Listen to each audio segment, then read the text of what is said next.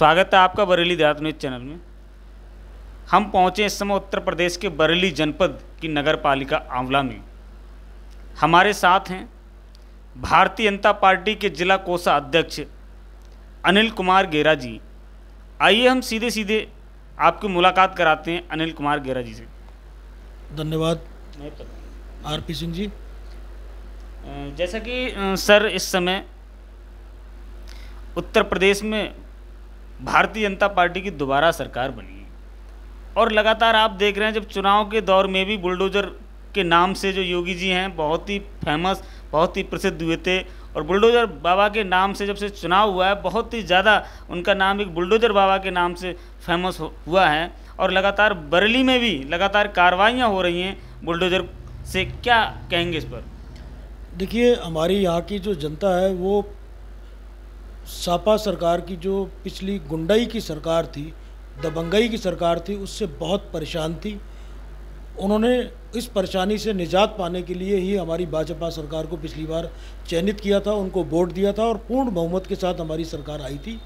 और आने के बाद उन्होंने गुंडाई बिल्कुल हमारे उत्तर प्रदेश से बिल्कुल दूर हो चुकी थी, बिल्कुल ख़त्म हो गई थी, जिसको लगता ही नहीं था कि ये वही प्रदेश है जिसमें कभी आज से पहले गुंडाई हुआ करती थी, दिन दहाड़े लूट होती थी कत्लेआम हुआ करते थे, उनसे बिल्कुल जनता को निजात मिल गया था। और इसी को पुनः बरकरार रहे हमारे प्रदेश के अंदर, जनता ने फिर से जो है, हमारे योगी जी के नेतृत्व में भाजपा की सरकार को वोट दिया और उन्हीं जनता की इच्छा के अनुसार हमारी सरकार इस टाइम फिर जो है, गुंडों के खिलाफ, माफियों के खिलाफ, जो हमारे इस प्रदेश के गरीब जनता है, जिनके ऊपर अमूमन सपा सरकार के अंदर कब्जे हुआ करते थे, उनके साथ उत्पीड़न हुआ करता था, हमारी बहन, बहनों, बेटियों की इज़्ज़त लुटा करती थी, उनके साथ छेड़खानी होती थी, उन सबसे निजात दिलाते हुए पुनः हमारी योगी, माननीय योगी आदित्यनाथ जी की सरकार इस पर कार्रवाई कर रही है और ऐसा फिर से माहौल नज़र आ रहा है कि ये उत्तर प्रदेश नहीं, अब ये उत्तम प्रदेश हो गया है। जैसा कि सर, आप आंवला नगर के बहुत ही प्रतिष्ठित व्यवसायी हैं और आप भारतीय जनता पार्टी के बड़े पद पर हैं। तो लाखों दर्शक आपको देख रहे हैं सर तो जानना चाहेंगे भारतीय जनता पार्टी में आप कब से सक्रिय रूप से काम करते हैं? हमारा परिवार जनसंघ दादा के परि, दादा के रहते हुए, पिताजी के रहते हुए और आज हम और आज हमारे परिवार भी जो है पूरी तरह से जनसंघ और आरएसएस और भारतीय जनता पार्टी के लिए समर्पित हैं। हम लोग भारतीय जनता पार्टी के लिए काम करते चले आए हैं और भारतीय जनता पार्टी के लिए ही हमेशा हमारा समर्पण रहेगा और हमेशा हम जनता के लिए और अपने प्रदेश के लिए और देश के लिए जहाँ तक बन सकेगा और पार्टी हित में, पार्टी के साथ चलते हुए, पार्टी की रीति नीति को ध्यान में रखते हुए हम हमेशा कार्य करते रहेंगे। ये हमारा हमेशा संकल्प रहेगा। और इसी के तहत हम भी ये चाहते हैं कि हमारी केंद्र की सरकार और प्रदेश की सरकार जो भी नीति लेके आए, उसका पूरी तरह से जो है, यहाँ लाभ जनता को मिले। तो इस चीज़ को ध्यान में रखते हुए हमने पिछली बार भी जब यहाँ पर चेयरमैन पद के लिए उम्मीदवार का चयन का प्रक्रिया चली थी तो मैंने आवेदन किया था। इस बार भी मेरी यही इच्छा है कि अगर पार्टी हमको इस लायक समझती है कि मैं जनता की सेवा अपना जो भी मेरा अब तक का इस जीवन का अनुभव है और जो मेरी कार्य कुशलता है, उसको ध्यान में रखते हुए, अगर पार्टी मुझे फिर से यहाँ, अगर मुझे फिर मौका देती है, अगर चेयरमैन पद के लिए तो मैं ज़रूर आंवला को सुधारने के लिए, एक नया आंवला बनाने के लिए, जैसे कि हमारे माननीय मोदी जी का सपना नया भारत बनाने का है, हमारे माननीय योगी जी का सपना नया उत्तर प्रदेश बनाने का है तो मेरा भी ये एक सपना है कि मैं एक नया आंवला इस यहाँ की जनता को पेश करके उनको नया आंवला बना करके उनको दिखा करके को, दिखाने की कोशिश करूँगा। जैसा कि सर आप भारतीय जनता पार्टी के पिछली बार भी आवेदक रहे और इस बार भी आप का कहना है कि पार्टी अगर टिकट देती है तो निश्चित ही आप चुनाव के लिए पूरी लगन से लगे हुए हैं। तो सर जैसा कि आपके लिए पार्टी द्वारा टिकट मिलता है तो क्या आपका ऐसा कोई प्रमुख कार्य है जो आज तक कोई नहीं करा पाया? मैं ऐसा कार्य करा कर रहूँगा। क्या आपने कोई इस तरह का कोई कार्य निश्चित कर रखा है? सिंह साहब, आप अगर आंवला में आज से 25 साल पहले अगर आप आंवला में आए, जुड़े हुए हैं और आते होंगे तो आज भी आपको आंवला वैसे ही दिखता है जो आज से 25-30 साल पहले था। हमने जब आँखें खोली, बचपन में होश संभाला, उसके बाद भी हमको आंवला वैसा दिखता है और आज भी वही दिख रहा है।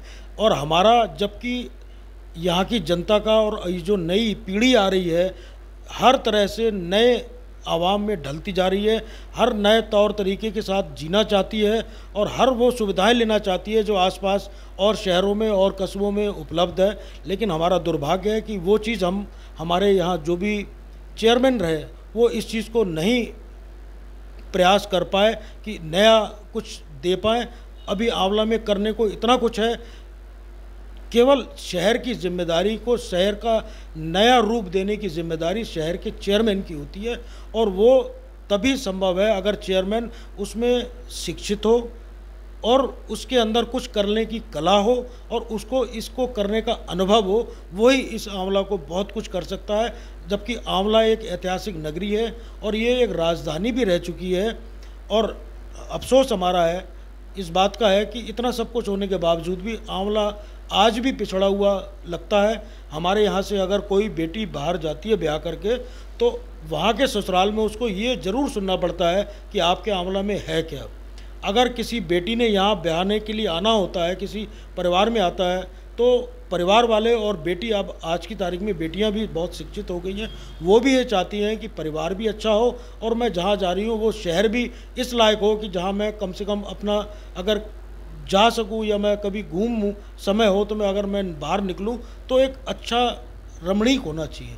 वो चीज़ यहाँ पर नहीं है। बहुत कुछ करने की ज़रूरत है। मैं कोशिश करूँगा, अगर मौका मिलता है पार्टी की तरफ़ से तो मैं आंवला को नया आंवला बना करके बनाने की पूरी कोशिश मेरी रहेगी। जैसा कि सर, बहुत ही नज़दीक चुनाव का टाइम भी आने वाला है। नवंबर में चुनाव संभवतः नगर पालिका चुनाव नवंबर महीने में हो सकते हैं। तो चुनाव को लेकर आपकी किस तरह की तैयारियाँ हैं? चुनाव में बहुत बड़ी तैयारी होती है नगर पालिका की। क्या तैयारियाँ हैं आपकी? देखिए, मैं पूरी तैयारी में हूँ, जनता के टच में हूँ, संगठन में कार्य कर रहा हूँ और मुझे दो साल से संगठन के पद पर हूँ। मैं इससे पहले भी कई चुनाव में लड़ा चुका हूँ, कई चुनावों को मैं नज़दीक से देख चुका हूँ। ये कुछ बातें होती हैं, ये कुछ गोपनीय बातें होती हैं। अंदर खाने मेरी जो है पूरी तैयारी है, रणनीति मैं पूरी अपनी बना चुका हूँ और मुझे क्या क्या सुविधाएँ आंवला में, कहने को तो आंवला में बहुत कुछ करने को है। अभी वाकई में अगर देखा जाए तो अभी कुछ हुआ ही नहीं है, बहुत कुछ करना है। उसके लिए मैंने पूरा रोड मैप मेरा तैयार है। मेरे को बस इंतज़ार है पार्टी का, नेतृत्व का, समर्थन का, उनका मुझे विश्वास का। सर, जैसा कि आपको आंवला सहित लाखों लोग देख रहे हैं, क्या कहना चाहेंगे आप? मैं यही चाहूँगा कि जो भी इस टाइम हमारी केंद्र की सरकार, प्रदेश की सरकार चाहती है कि हर जन को गरीब से गरीब और नीचे से नीचे स्तर के व्यक्ति को मूल सुविधाएँ जो देना चाहती है सरकार वो मिले और उसको लें। और अगर किसी प्रकार से उनको किसी प्रकार की असुविधा हो या जानकारी का अभाव हो तो हमारे पार्टी के सारे समर्पित और सेवा भाव से भली पूरी तरह से मैच्योर्ड कार्यकर्ता है, उनसे संपर्क लेके, उनसे सहायता लेकर के हमारी केंद्र की और प्रदेश की जो नीति है, जो सुविधाएँ हम देना चाह रही है सरकारें, उसको लेने की कोशिश करें और एक अच्छे माहौल में अपना जीवन व्यतीत करें। मैं यही हमारी, आप सभी जनता से मेरी अपील है और ये गुजारिश है। बहुत बहुत धन्यवाद। ये थे हमारे साथ भारतीय जनता पार्टी, आंवला ज़िले के जिला कोषाध्यक्ष अनिल कुमार गेरा जी। लगातार ऐसे ही प्रतिष्ठित लोगों से मिलवाते रहेंगे। बने रहिए बरेली देहात में।